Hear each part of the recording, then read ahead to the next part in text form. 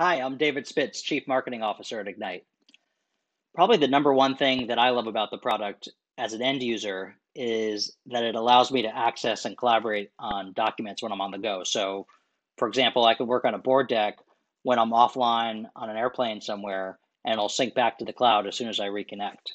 Or my team can send me the copy and creative for a new ad campaign, and a notification will pop up on my phone, and then I can provide comments or hit approve, and they'll be uh, alerted to the same.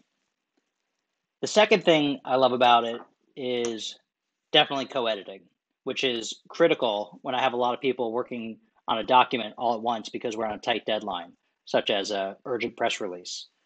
Collectively, we use Microsoft Office and Google Docs probably in equal measure, and Egnyte allows us to collaborate uh, just as we would natively in those systems. Uh, let me show you here. I have a press release in Google Docs.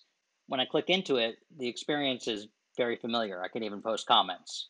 Only difference is this file is housed within Egnyte, so it's governed by all of Egnyte's user access permissions and compliance policies, meaning I don't have to worry about setting those things up for each and every file that I create. And plus, it can all be searched and accessed in one place, even when I'm offline. The same holds true for Microsoft Office docs, whether I open them online like we did here or through one of Microsoft's desktop apps. The third thing I'll point out is what we call folder templates. I want to maximize my team's creative time and minimize their repetitive tasks, as well as my own. Folder templates is a way that we do that. For example, when we're getting toward the end of the quarter and beginning to plan ahead, Egnyte allows me to just clone a group of folders that have been previously created and then copy them into a folder for the new quarter. Egnyte will also replicate individual file templates like OKRs, board presentations, media plans, and nest them within the relevant folders so everything's always organized the same way and uh, ready to be populated. The last thing I'll point out is link sharing. Everyone's done some version of link sharing before, but the Egnyte approach is by far the most robust I've seen from an end user perspective.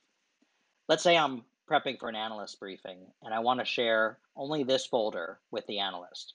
I can set an expiration date and require a password, and I can also monitor to see whether the analyst has looked at this folder before our meeting.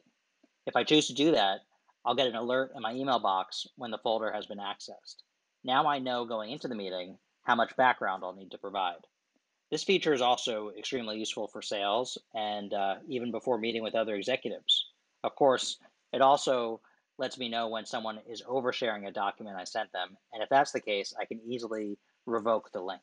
There are tons of ways to securely collaborate while making your work more efficient with Egnyte, but those are just some of my personal favorites. Thanks for tuning in.